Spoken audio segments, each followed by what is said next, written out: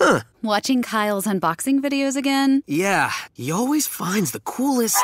No way! A robot dog? Gotta ask where he got it. Or use your Samsung Galaxy S24 Ultra. Just draw a circle around the dog on your screen, and it shows you where to buy it right in the app. Oh, I just learned a new trick. And that for once, I beat Kyle to the next big thing. Circle it, find it with the new Galaxy S24 Ultra and circle the search with Google. Get yours now at Samsung.com. Internet connection required. Results may vary based on visuals.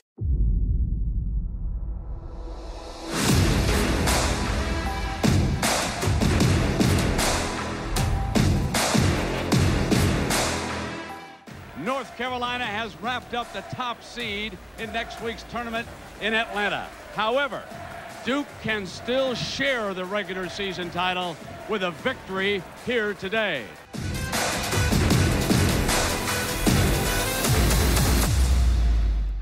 Welcome to episode 6 of Return to Glory, the story of the 2001 Duke Blue Devil National Champions. I'm your host, Jason Evans. Here we are, six episodes into this oral history of that special season, and it's the first time we're talking very much about the rivalry with North Carolina. Though the 2001 season will be largely remembered for four historic battles with the Maryland Terrapins, as Duke entered the final game of the regular season, the Blue Devils found themselves looking up in the ACC standings at the Tar Heels. UNC was 13 and 2 in the conference and ranked number 4 in the land.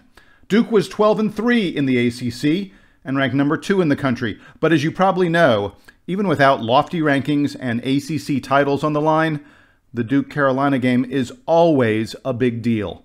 Here's Duke's All American Shane Battier. Um, a lot of the guys in, in, my era, if they didn't go to Duke, they would have gone to Carolina. If they didn't go to Carolina, they would have gone to Duke. And so we, we know these guys. We play pickup ball with them in, in the summer. Uh, they obviously have an amazing tradition of winning, and and we we respect them. I mean, we didn't like those guys, um, but they didn't like us. But I think there was a great deal of, of mutual respect and and and honoring the tradition you know, and you know, Coach K was uh, my. I learned that my, my freshman year, where there was a player who was kind of farting around before um, a Carolina game in practice, and he like kicked the kid out of practice. I'm not gonna say who it was, but he said, "You don't mess with this game. You don't mess with this game." And so I'm like, okay, this this is real. And then you go to you know you go to like Harris Teeter, you you go to like the the grocery store or the gas station, and you could just feel the rivalry. I mean, you know, it was Duke and Carolina. There there, there was no there was no fans both, and you felt that everywhere you go, like be Carolina. You know, I'd, be at dinner somewhere, be Carolina. You know, and uh, and so it, it's really unique for that area where you know it you're choosing a side.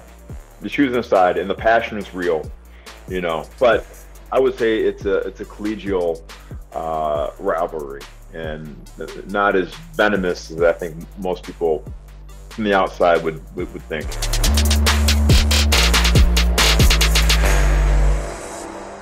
Sophomore wing Mike Dunleavy echoed those comments. He vividly recalled the team being locked in for this matchup with the Tar Heels.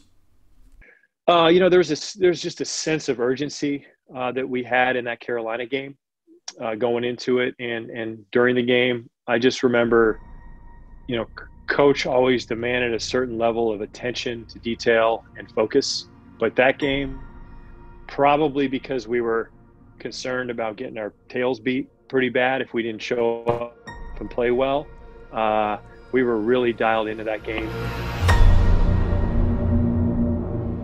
but the Blue Devils will be shorthanded. Carlos Boozer, their low post player. He is out with a broken bone in his right foot. As you just heard, Duke would be playing without their best big man, Carlos Boozer. But Coach K had a plan. The team would play fast, faster than they ever had, to prevent Carolina's imposing front line from dominating the game. And that meant getting everyone in the best shape of their lives. Here's All American point guard Jay Williams.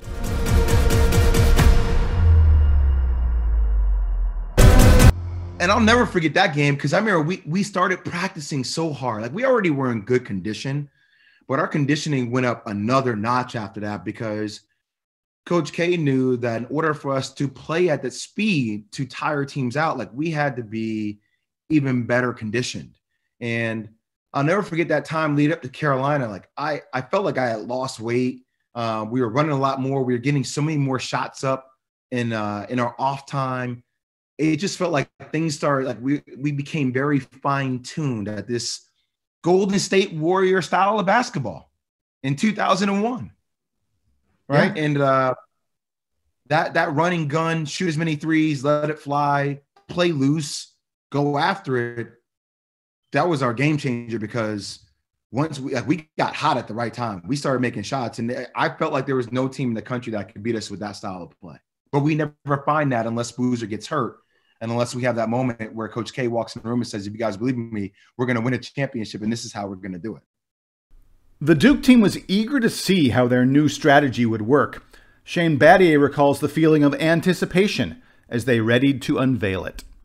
We go to North Carolina, last game of the year, and you know I think they were like eight point favorites or ten, whatever. They were they were big time favorites over us, and we all got off the bus with a look that said, "We know something you don't know." And I'll never forget that. We know something you don't know. You don't know what's coming.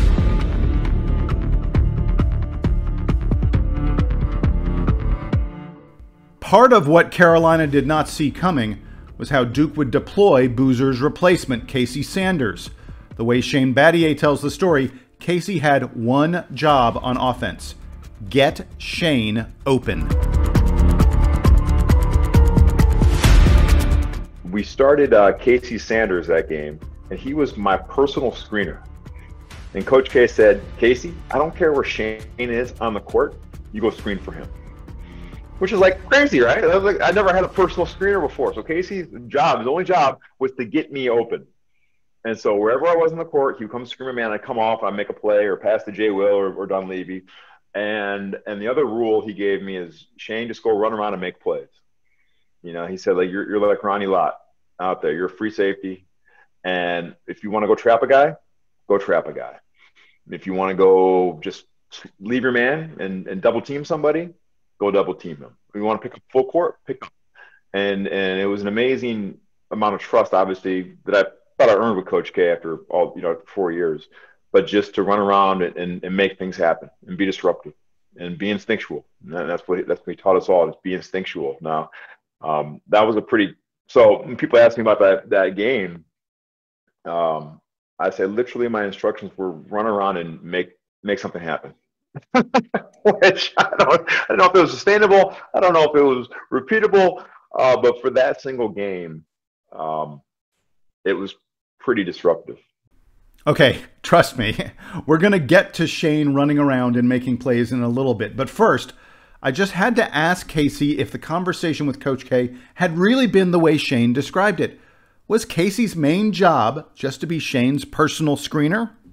So I was like, yeah, I can play D. And then he's like, set screens for Shane. I was like, perfect. You mean to tell me I don't have to worry about anything except for when he shoots it to go run it down and try to get it back to him or put it back there or try to dunk on somebody? I was like, this is great. it was kind of like it was kind of like what I used to fantasize back in high school when I'd be like, man, I wish I had just awesome players around me and I could just do all the fun stuff like try to dunk on people or set screens and roll off and you know call for the alley oop and you know stuff like that. Just be the type of player that i really wanted to be which was that flashy athletic player. One of the things um, uh, at duke that you learn you know on the court and off the court is how to use your resources. Like coach is big into that. Like don't you know do poorly in a class because you were too afraid to use your resources or ask for help. Like that's a ridiculous thing. And to this day i still to this day have that feeling. So i knew how to use shane. I knew screening for him getting him open shane's going to get buckets. I knew jay will get out of his way when he goes to the cup go get the rebound. Anytime he's going to the bucket don't look for him to pass because he's a finisher that's what he does Casey Sanders wasn't the only player excited about his new role. His roommate, sophomore Nick Horvath, was positively giddy. Like Casey, Nick was a backup big man for Duke, but he'd been injured earlier in the season and was taking a red shirt. Horvath, though, was thrilled to see the way the team designed a strategy that would play into Casey's strengths. Casey was in the same boat as me, but then suddenly he had to be relied on. He had to start. He was the guy, and he so they so they simplified uh, like the game was simplified, and he just had to go out and do what he did, and he played great. It was so fun to watch. You know, he was suddenly that guy in the middle of these good teams. We were playing fast. Casey was running up and down the court, catching alley oops. You know, it was awesome.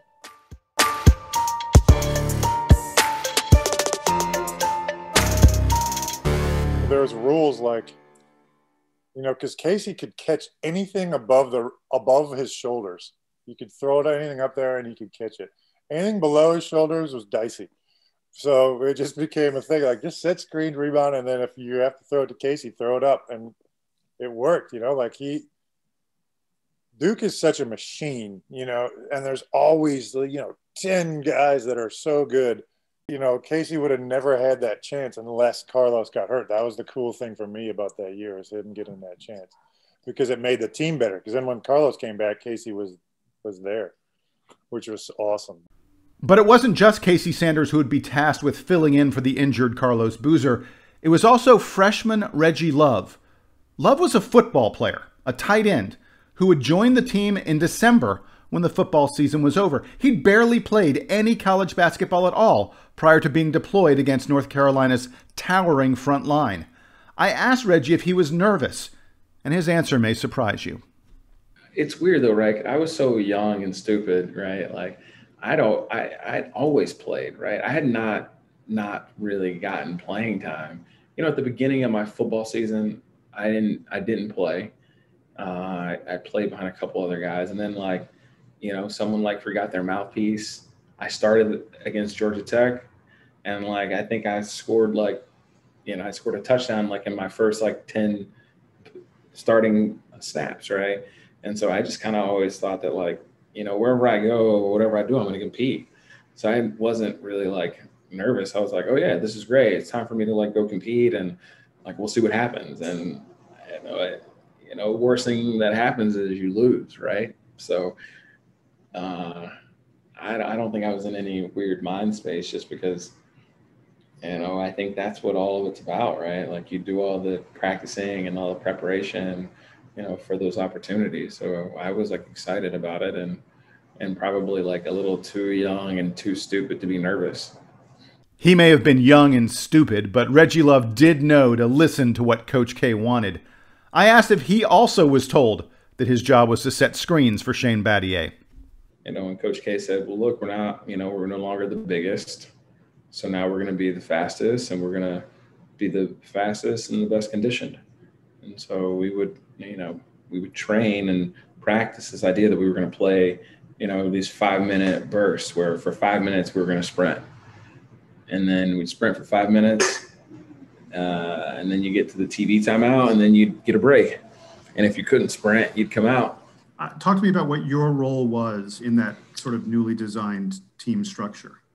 Um, defend the big, uh, make sure that you make the big sprint every time down because they were to make sure that they were exhausted so that the, that so that when they got to the offensive end they'd be too tired to to actually want to play offense, uh, and to uh, and to keep them out of, to keep them from the basket. You know, a lot of high ball screens, um, and making other bigs have to defend uh, Jason or Mike or Chris or whomever off the dribble.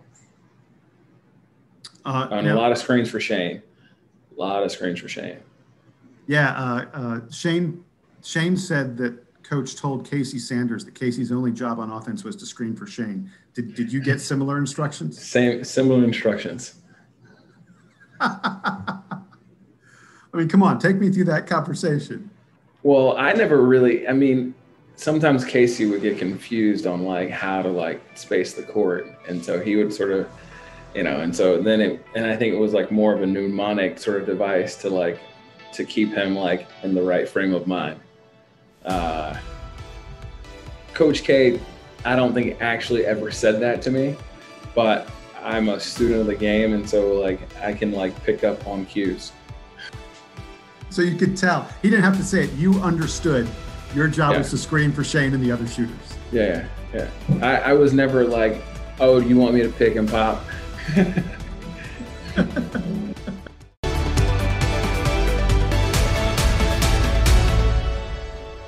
All right, enough of the preamble. Let's get to the game itself. Minus Carlos Boozer, the conventional wisdom was that Carolina's front line of Brendan Haywood and Chris Lang would have their way with the smaller and less experienced Duke big men.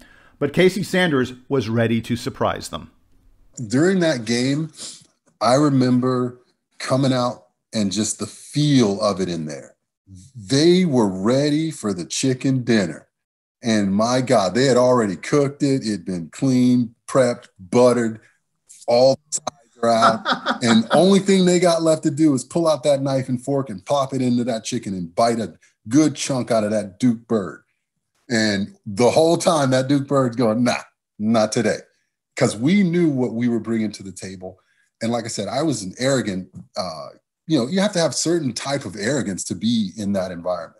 And I was as such like, yeah, those other guys are good, but guess what? I'm good too. And if you guys say we're done and we're just replacing one All American for another, and yeah, you guys don't know about me, but hell, I came in with a pretty good reputation.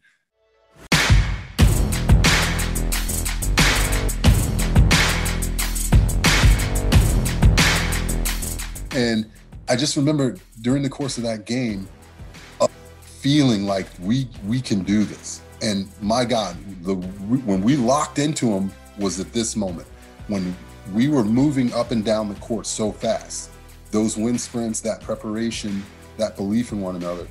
I was tired, and my God, to get me tired at 19 years of age, come on, dude. That's I think about that now at 41 and at 19. Like, dude, I could run forever it would take immense stuff to get you tired. But again, that immense belief, that whole attitude in that building, and again, once we saw those guys sucking eggs, because Lang got tired, Haywood got tired, then guess what? Your muscles don't mean much. All that pushing and fighting you, you know, you want to make a coward out of any man, you get him tired.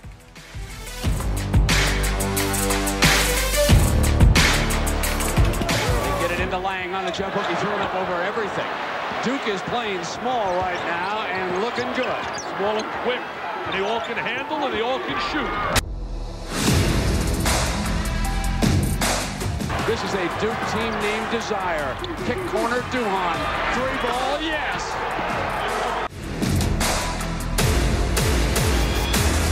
Here comes Jason Williams now. Speaking of great point guards, three is on the money.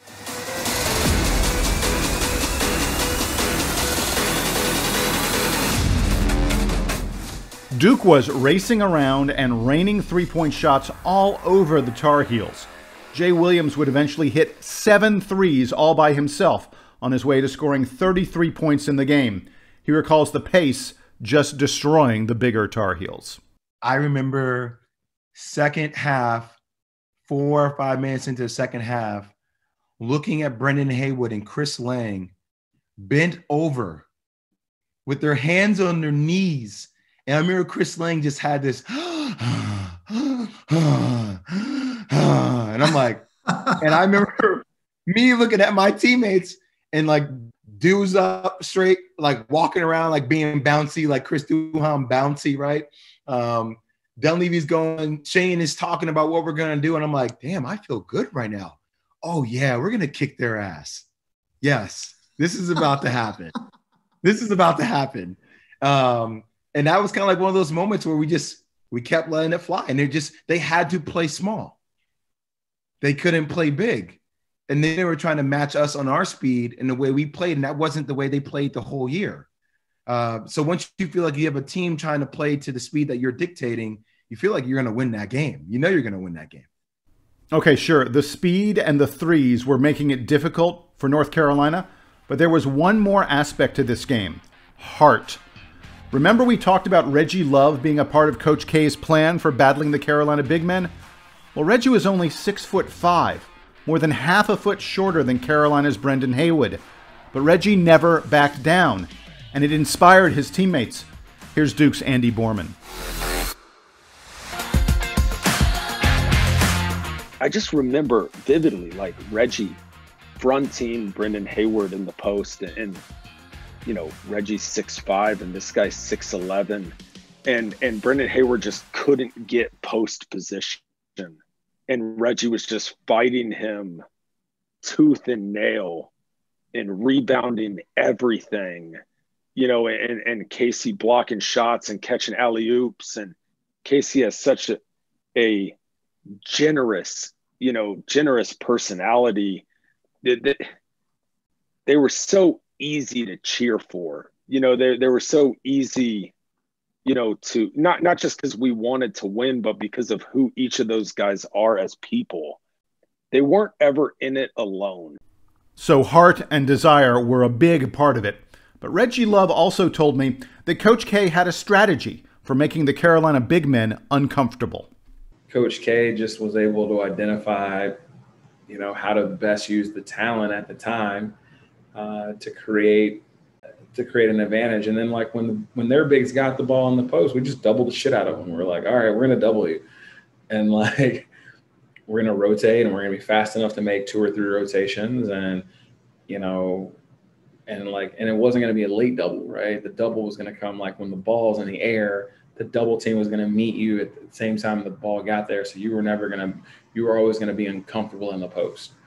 And that was the other thing is that a lot of bigs weren't like great passers, right? So like Brendan Haywood, Chris Lang, great basketball players, not great passers.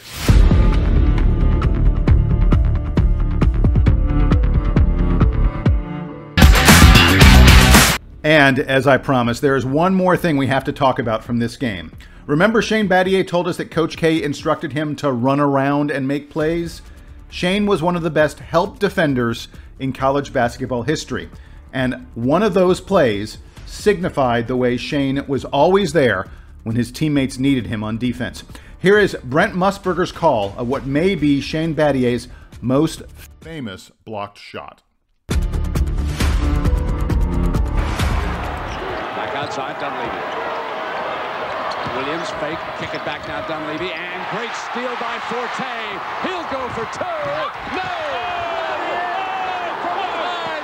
What a play! That's one of the great defensive plays you'll ever see right there, baby. That was unbelievable. And Williams for the three. It's a five-point turnaround on Mr. Battier's defensive play. Oh, my! Joe Forte was Carolina's best guard, and he was running unopposed to the basket for a dunk. But Battier swooped in like a leopard, pouncing on his prey to block the shot. As you heard, it was Duke's Mike Dunleavy who lost the ball on that play. He had a unique perspective on Shane's blocked shot. The only play I remember from that game was, um, and it was kind of a classic, just have your back play. I had the ball, went on offense, went to drive, got it stolen, and uh, they were going. Joe Forte was going down the other way for for what looked like a wide open dunk, and Shane chased him down and got a just a fingertip or fingernail on the ball and knocked it out of his hand and hit the rim, and we recovered it. And it was one of those key signature plays in Shane's career, but it was sort of embodied, you know, him and the team and everything at the moment of just, you know, kind of everybody's got each other's back. I made a mistake, he covered up for me, and that. Was that was sort of our way. You know what's interesting? Shane Battier didn't really want to talk about that block shot. It was just one play in what would be a 14 point Duke victory. He wanted to talk about how it felt to win the game, where no one gave them a chance. A game where they showed the heart and tenacity of a champion. You know, I love beating Carolina. It was great. They, like they, they were especially a little chuffed with themselves, like, oh, we got this. No boozer. They got no chance. And I'll never forget, just we hit them right in the mouth with all of our aggressiveness, our three point shooting. I'm running around making plays. Casey Sanders is is uh, is screening for me. We put Reggie Love in, who's guarding Brendan Haywood, who's given up like 80 pounds and like five inches, and Brendan Haywood can't do anything against Reggie Love. I think Brendan Haywood has like four points and three rebounds and a block against Reggie Love. And we walk out of that game after blowing them out in Carolina win the ACC championship in the regular season, and as I got in the bus, I said, "We're winning this thing. we are winning this thing." so, with their confidence soaring, the Blue Devils were ready to embark on the postseason, the ACC tournament, and the NCAAs. More on that when return.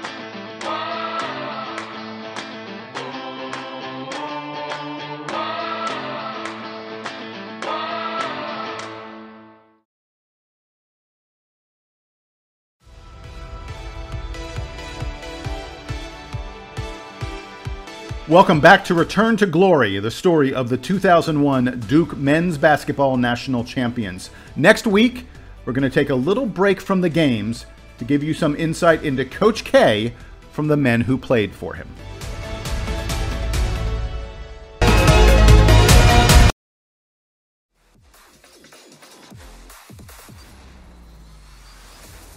It's me about Coach. Like, um, you know, his humor, man. He, he's so funny. He's such a funny guy. And from that moment forward, he's Coach K. He's not he's not Uncle Mike any longer. And then Coach K does a somersault and rolls in like a rolls in with a with an army fatigue helmet on and says, Let's fucking attack! And we just jump up like some warriors, bro.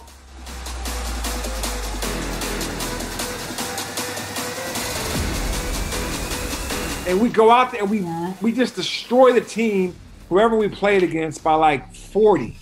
The best Coach K stories as told by the 2001 team on the next Return to Glory.